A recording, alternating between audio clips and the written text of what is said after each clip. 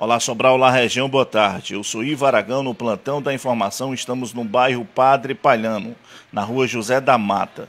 Vamos contar a história de uma senhora de 81 anos que a família está aflita, sem saber mais o que fazer. Já foi para o hospital regional, o regional manda para o posto e o pessoal está aqui com. estão aflitos, sem saber o que fazer, em razão dessa senhora estar indo e voltando para o hospital regional a gente vai ouvir aqui. Eu começo com quem? Deixa eu conversar com você. Como é seu nome? É Osilene. É sua mãe? É sim. Qual a idade dela? 82 anos. 81. Como é o nome dela? Maria Rocha Nascimento. Olha, a dona Maria Rocha, 81 anos. O que é que está acontecendo? Conte aqui pra gente. É que ela não consegue dormir, falta de ar, tá faltando sufoco dela, não consegue comer mais, engolir, né? E a gente já tá sofrendo mais de mês que ela tá sofrendo com ela, né? E eu sou do interior, venho pra cá. Não consigo. Pai ver o sofrimento, o sofrimento dela. Essa aqui é a filha, está aflita, está emocionada, não é pra gente. Pra menos, deixa eu conversar com essa outra senhora aqui. Como é seu nome? Lucilene Rocha do Nascimento. Também é filha? Sou filha. E aí, minha eu, o que eu quero contar, assim, eu não moro aqui também não, mas já estou com um mês que eu, que eu vim aqui cuidar dela. O que eu vejo quando eu chego, chego aqui, não vejo nenhuma assistência social que venha cuidar dela. Porque a gente leva para a regional, a primeira vez atendeu, a segunda vez deu remédio, a terceira vez deu uma injeção, o problema dela é para o posto. Bate uma ressonância, a gente vai para mostrar outro médico, lugar de mandar direto, assim, mostra um doutor que é cirurgião, não, manda por INCO, lá perto do, do Hospital do Coração. Chega lá, tem médico estagiando, tem os enfermeiros estagiando e não diz nada, só passa, olhou, aí, não, só vou passar umas gotas para parar a salina dela, para poder ver se ela engole a salina. Não passou remédio nenhum, enviou de novo para outro doutor cirurgião. Lá se vai, nós depois do carnaval que a gente vai resolver aí para pagar outra consulta. Paguei uma outra consulta lá no, no Michel Palito. Também foi 80 e 80 não, 180. Da cabeça nós batemos, só porque ela tem um desconto da funeral, nós batemos foi 520. E assim vai, botando para um, botando para outro, e só que eles dizem, o problema dela tem que resolver é os médicos do posto, porque ela tem que ser acompanhada. veio uma vez uma doutora aqui, a doutora veio, passou uns comprimidos para botar na língua dela, porque ela veio aqui, que nós chamemos. Porque o, o médico lá do, da, do regional mandou que, que ela viesse. Aí ela veio. Mas nem a agência de saúde não anda aqui de jeito nenhum. Eu estou aqui com um mês que estou aqui. Eu vi ela uma vez. Uma vez. O pessoal está desabafando. Estamos na rua José da Mata. Essa senhora, segundo a família, precisa de um cuidado melhor. Já foi para o hospital regional, do regional manda para o posto, do posto vem para casa. Deixa eu conversar com esse cidadão aqui. Como é seu nome?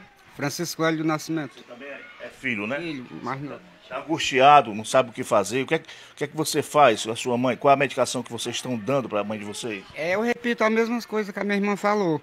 Que a gente leva vai para o posto, quando chega lá, a doutora disse que o remédio dela é a casa, não, é o hospital, que é para tomar remédio na veia. A gente leva para o hospital, ele diz ao contrário, bota para o posto.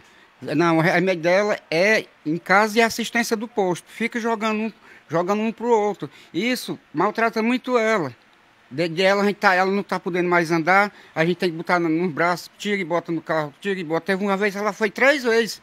E aí isso maltrata muito ela, entendeu? A e última vez que você estiver no hospital foi quando? Hoje, quatro horas da madrugada. E aí, o que foi que falaram para você? A doutora disse que tinha que ser pelo posto. A senhora disse assim, doutora, não dá para você passar pelo menos um medicamento que amenize, que ela consiga menos dormir. Ela disse que não, porque ia passar um, uma injeção de, a diazepam na veia que ela ia conseguir dormir. Aí deu um comprimidozinho.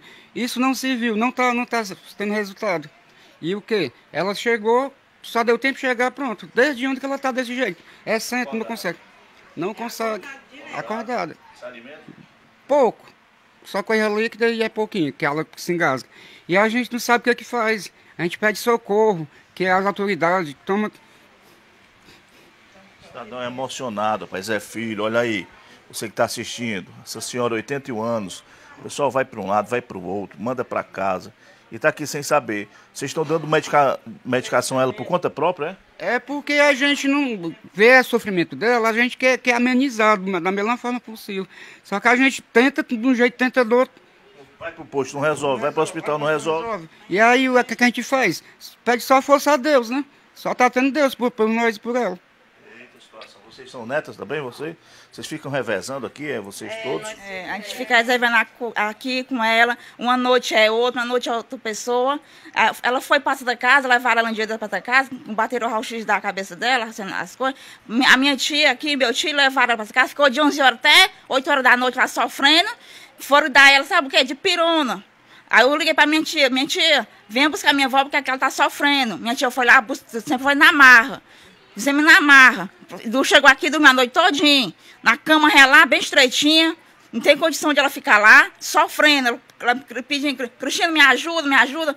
Eu não posso levantar, ser é pesada. Eu pedi socorro à minha família. Porque aqui em casa, por menos tem gente para ajudar. E lá não ajuda, não, não tem ajuda de ninguém. Pois é. Aí aqui a gente ajuda todo mundo, né? A, família, uma ajuda, outra ajuda. E outra coisa, a gente está pedindo também a ajuda financeira. Ela usou fralda. E nós, sem condição de poder comprar fralda para ela. Ela é aposentada, mas só que o aposento dela não está dando para comprar remédio, para comprar fralda, o alimento dela. Já gastamos com táxi, gasta com táxi direto, sem, tirando dinheiro da onde que não tem. Aí a gente está pedindo a ajuda. Quem puder ajudar a gente, é a gente. A gente tem um telefone aqui da minha, da minha menina. Fabiano, tu tem, tu tem Pix, Fabiano? com a Lucilene Rocha Nogueira, que é filha. Eu sou neta, Claudiana Rocha Nogueira. que nós estamos querendo mais é que a, o posto chegue até a casa dela para examinar ela, que seja acompanhado o posto. Que já passaram, nós fomos no hospital, todo hospital errado. Não, vocês têm que ser acompanhados pelo posto da saúde dela. Nós estamos querendo é o posto, a população, que é os médicos, a gente de saúde, que a gente de saúde não, não tem condição de chegar aqui, não veio até agora. Nós queremos a gente saúde aqui para examinar ela todo dia. O que nós precisamos é a gente saúde. E quem entrar em contato com a Lucilene, que é a minha tia aqui, a filha dela, o número, o telefone. Vou pegar aqui daqui a pouco o número. Então vamos encerrar aqui com o cidadão. É, para o internauta que está assistindo, diga aqui o endereço. Da, é, Rua José da Mata, no número 81, Padre Palhano. Então, o que, é que a sua mãe tem? Ela tem um tumor na cabeça, tem cinco nódulos na, na, no tireoide dela, que isso que está empatando ela, tanto se alimentar como para dormir. Se ela se deita, é um segundo. Só dá tempo de encostar o travesseiro na, na a cabeça do travesseiro. Pronto, já pede para se levantar. Então ela passa 24 horas sem conseguir dormir. E isso ela não vai aguentar muito tempo, também pela idade dela.